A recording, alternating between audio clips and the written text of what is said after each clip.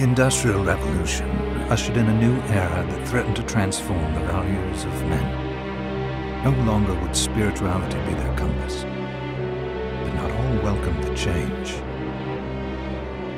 In 1783, just as the fires of the Laki eruption had plunged all of Europe into an ashen darkness, a horde of demons spilled from the shadows and fell upon city after English city.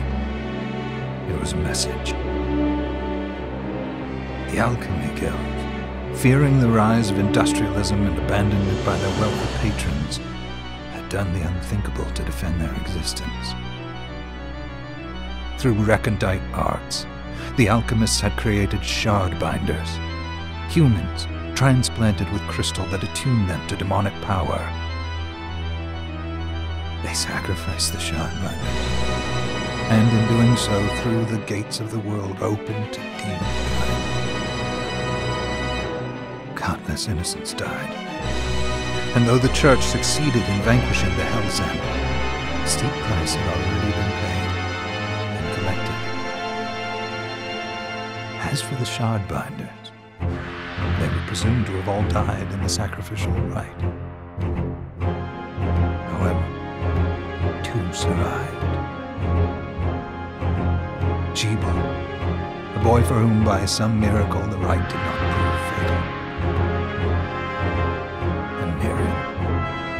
spared the ride altogether on account of the strange slumber that took her just before it could begin. Ten years have passed. Mankind too soon forgets tragedy. The demons have returned, presaged by a great castle. And on this very hour,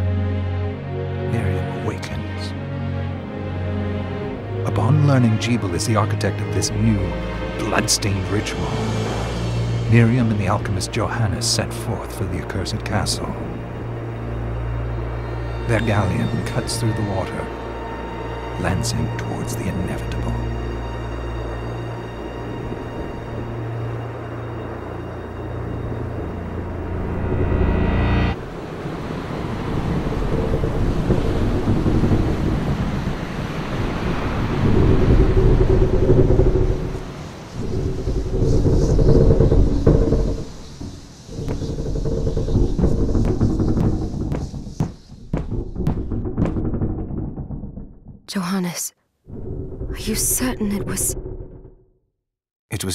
Doing, Miriam.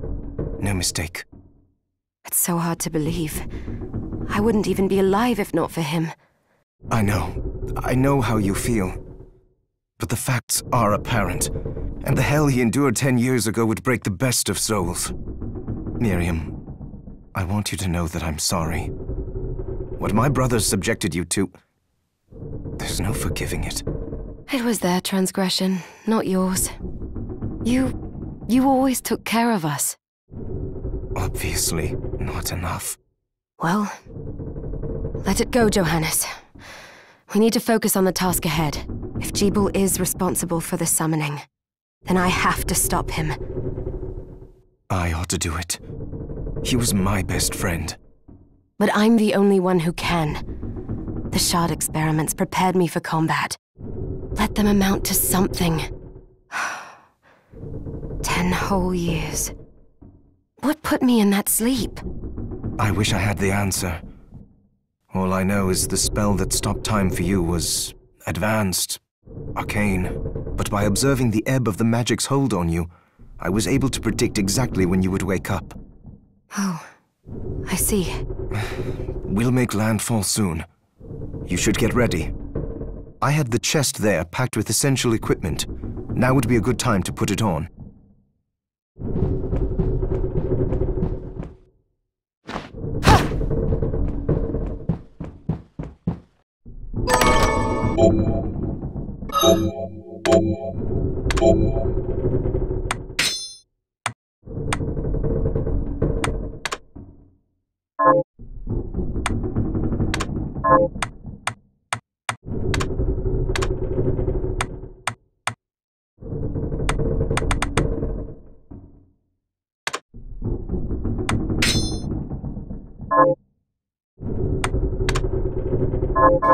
Good. You're prepared. The next order of business is to... I'll take care of it.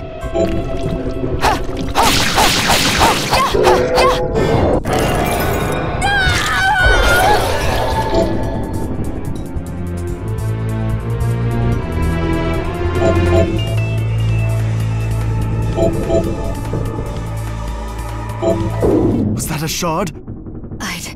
Forgotten the way it felt. Like uninvited claws scraping across my bones. The demon's power was transmuted into that shard, which forcibly bonded to the crystal embedded in your body. The strength you gain from it is undeniable, but eventually, the crystal will devour you. I thought the procedure you discovered halted the corruption. It did, that doesn't guarantee you'll be safe if you start absorbing shards in massive quantities. I know my body's limits better than anyone, and I'm going to need all the power I can get. And if I run into trouble, you can help me. You've done it before. You'll do it again. Thanks for giving me a choice in the matter. Well, I won't let you down. Not if I can help it. Just promise you won't push yourself. Ah!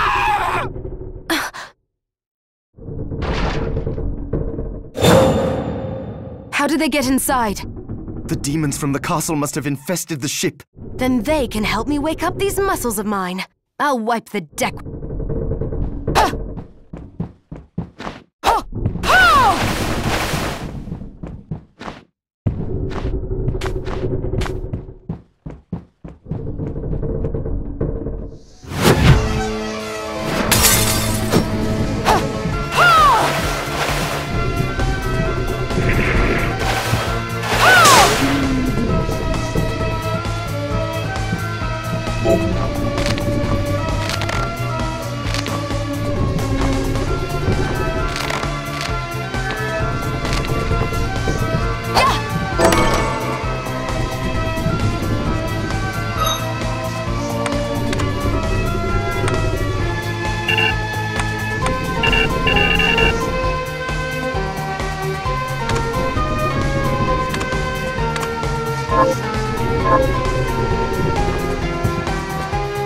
Device responds to magic. Maybe I just need to hold my hand up to it.